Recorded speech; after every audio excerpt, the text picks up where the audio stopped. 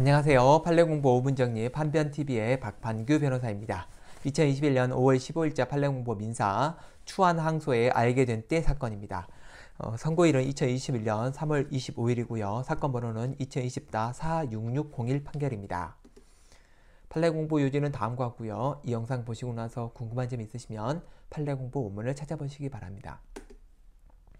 이 사건은 물품 대금 사건이고요. 어, 원고는 중요하지 않고 피고가 공시송달을 받, 판결을 받은 상고인입니다. 공시송달은 기본적으로 어, 원고가 소를 제기하면 피고의 주소에 소장을 보내줘야 되는데 피고의 주소를 어떤 방법으로도 알 수 없는 경우 그런 경우에는 법원에 이제 그 게시판에 공시함으로써 송달된 걸로 간주하고 판결이 쭉 진행돼서 화, 판결 선고되고 확정까지 돼버립니다. 이렇게 이제 피고는 그런, 그런 판결을 받은 사람이죠. 사실관계 한번 보시죠. 피고에 대한 1심 소송은 아까 말했던 이제 공시송대로 진행이 됐었습니다. 그러자 이제 원고는 그 판결이 확정됐기 때문에 피고의 예금 채권에다가 압류 추심 명령을 받습니다. 그러니까 이제 원고 피고의 피고는 2019년 7월 2일 날 신협으로부터 계좌가 압류됐다는 문자 메시지를 받습니다. 그리고 나서 피고가 2019년 9월 17일 날 채권 압류 추심 명령 기록을 열람 복사를 하고 9월 30일 날 1심 판결문을 받습니다. 그리고 10월 1일 날 추한 항소장을 제출합니다. 항소심은 7월 2일 날 이미 문자로 판결이 있었던 걸 알았기 때문에 2주 지난 2주도 훨씬 지난 10월 1일 날 추한 항소 제출한 거는 부적과 바닥에서 각하합니다.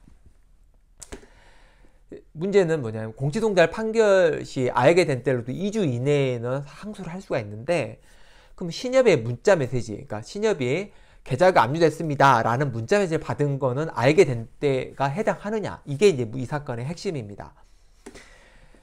대법원은 이게 판결이 이제 있다라는 걸 알게 된다라는 거는 판결의 경우에 대해서 알아볼 만한 특별한 사정이 있어야 된다.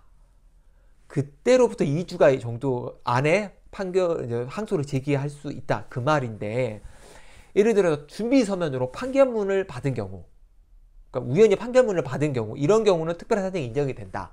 하지만 유체동사원이 압류 집행이 됐다 라든지 채권 추심회사 직원이 전화로 판결문 있어요. 그리고 우리 아, 아, 추심하는 거예요. 이런 말 들었다는 것으로도 특별한 사정이 인정이 안 된다는 겁니다 굉장히 엄격하죠. 그러니까 특별한 사유 인정이 되려면 판결문 자체를 우연이라도 어쨌든 입수를 하면 어 이거 알아봐야겠는데 이렇게 할 수는 있는데 단순히 압류 집행을 당했다거나 추심회사 직원이 말했다거나 이런 걸로는 어, 알게 된 때로 볼 수 없다라는 겁니다. 따라서 신약의 문자 안내만으로도 안내만으로는 특별사유 인정 안 된다. 고로 원심 판단은 틀렸다. 라고 보는 거죠. 실무에서는 그 특히 이제 법원 실무에서 추한 항소는 굉장히 넓게 받아줍니다. 아까도 보셨다시피 판결문을 목 앞까지 눈앞에까지 갖다 디밀지 않은 이상은 판결을 안게 된 때를 굉장히 늦게로 봅니다. 굉장히 늦게 늦게로 보니까 어 그리고 대체적으로 추한 항소 다 받아주고 어 실무 판사 실무도 이제 판사들이 실무 운영할 때는 추한 항소는 웬만하면 받아줍니다. 왜냐하면 받아둬서 문제가 될 건 별로 없기 때문에 오히려 이렇게 이제 기간 지나서 각하해 버리면 대법원에서 깨져 버립니다.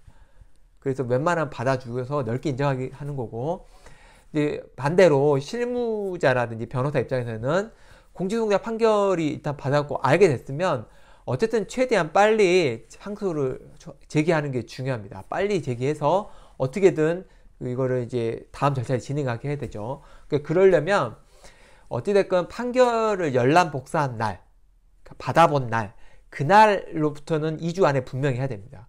판결문을 받았는데도 안 할 경우에는 안 됩니다. 그래서 기록 열람 복사하고 혹시 판결문을 받았으면 다시 판결문을 받은 날로서 2주 이내 어쨌든 최대한 빨리 빨리 진행해야 되고 일단 항소장을 제출을 하게 되면 인지라든지 송달료는 나중에 내도 되고 항소 이유도 나중에 좀 내도 되니까 시간이 좀 있습니다. 그러니까 급한 거는 먼저 항소세 제출하는 거니까 일단 항소세 먼저 제출하고 당사자하고 상의해서 어떤 식으로 진행할 것인지를 이제 약간 시간을 갖고 대응할 수 있기 때문에 상담을 일단 이런 경우에 하게 되면 그날 바로 상소장 먼저 제출하는 것을 하는 것이 나중에 문제를 이제 뭐 막는 방법이 될 겁니다. 안 그러면 변호사가 오히려 어 의뢰인으로부터 항의를 받을 수 있기 때문에 이거 꼭 알아두셔야 될 것 같습니다. 이상 마치겠습니다. 감사합니다.